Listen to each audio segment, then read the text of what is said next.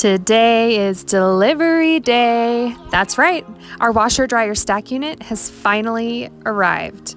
If you've been following our journey, you know we've been paying a laundry service to do our massive amounts of laundry or letting it build up and doing it at family when we visit. So now that the appliance is here, we've got to get it ready to install.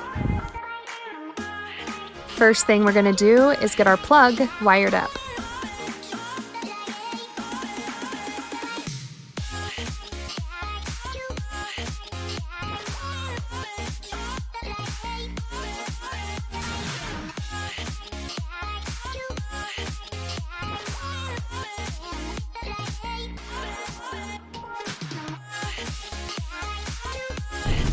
Okay, our plug is set. We've got our green ground, our red hot, our white common, and our black hot. Next, we're gonna hook up our water hoses. We've got our hot and cold, and our strong guy here.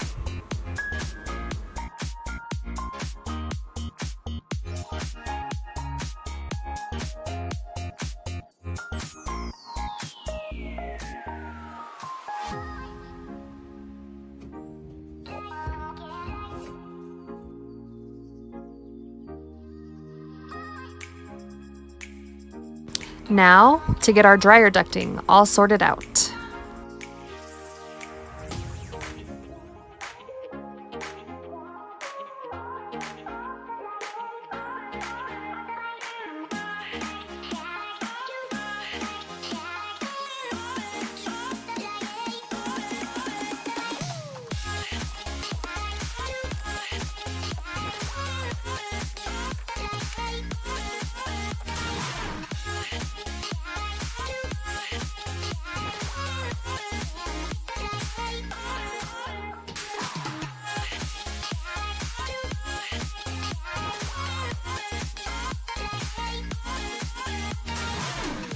A little quick check for leaks, and we're all good.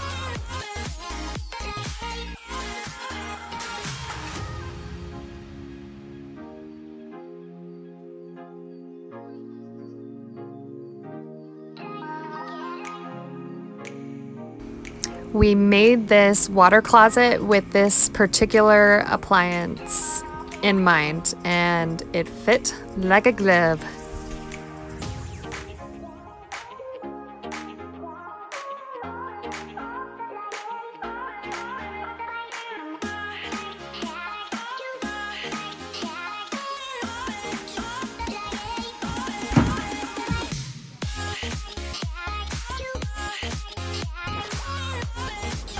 I feel like my life is complete. Now, here we are in the girls' room. We made sure to leave this area next to their dresser open so that we could access the vent and the plug and really just make installation a whole lot easier.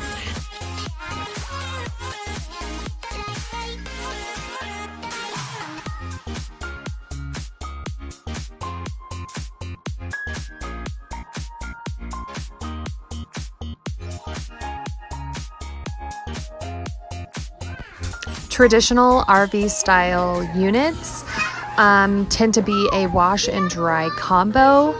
It's a tiny amount of laundry that you can clean at a time, and it takes like four hours to do a load, and we just ain't got time for that, guys. We got a family of eight, and this full size unit is going to change our lives.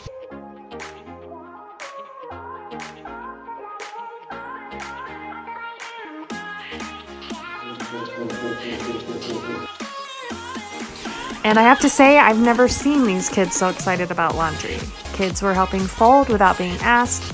Heck, Draven was bringing me folded clean clothes from his drawers just so that I could wash them. Thank you so much for watching this video and supporting our channel. If you haven't already, hit subscribe, like, share, and watch our videos. And don't miss out because our journey is just getting started.